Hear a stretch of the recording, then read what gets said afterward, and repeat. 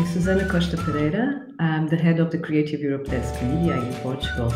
My friends describe me as a curious person, which I think I am.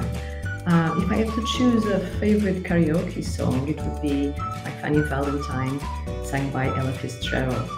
Um, and I have this um, actor that it's irreplaceable in my mind, which is Paul Newman.